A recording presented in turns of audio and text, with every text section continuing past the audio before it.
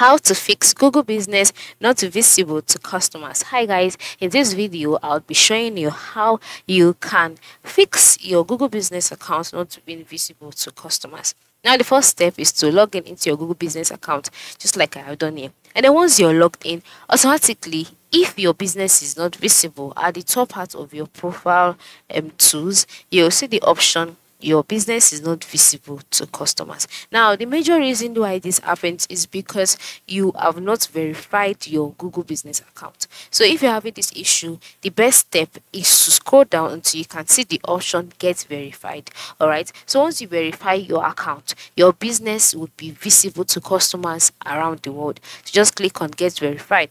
Once you click on get verified, you'll be right on that page where you'll be asked to select a way to get verified all right now the major way is to record a business video but if you do not want, want to do that just click on more options. And then this is the option they can click on verify later. Or instead they can just work with this business video and then you click on next. And then you can see the um requirements all right capture all three requirements in a continuous recording. And this is a requirement. The first step is that your location should match your business profile address, your business name a category, and then key cancel, and then your authorized represent this business, and then once you've um done once you meet all these requirements, click on next. But if not, click on change option. Alright, then once it loads, you'll be brought back to this page.